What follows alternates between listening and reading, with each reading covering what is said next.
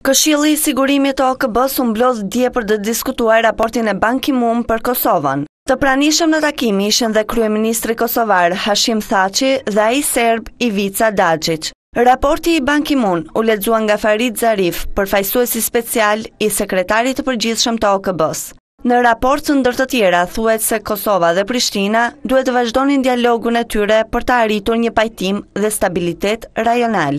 Ban Ki-moon vlerësoi progresin e jashtëzakonshëm të Kosovës për vitin dy mijë e trembëdhjetë, duke i vënë theksin zgjedhjeve lokale, si dhe marrëveshjes së nëntëmbëdhjetë prillit. Sipas tij, Kosova dhe Serbia duhet të vazhdojnë të konsolidojnë progresin historik të arritur dhe të zgjidhin problemet dhe çështjet e ndryshme mes tyre. nëpërmjet dialogut. Gjatë mbledhjes fjalën e morën dhe vetë dy kryeministrat, kryeministri i Kosovës, Hashim Thaçi, bëri thirrje për njohjen e Kosovës, duke theksuar se kjo do të ndikonte drejtpërdrejt në stabilitetin dhe paqen në rajon. Duke folur në marrëdhëniet midis Kosovës e Serbisë, Thaçi theksoi se marrëveshja e nëntëmbëdhjetë prilli dy mijë e trembëdhjetë Po konsiderohet se mund të shërbejë si model për të zgjidhur problemet që shqetësojnë rajonin dhe më gjerë.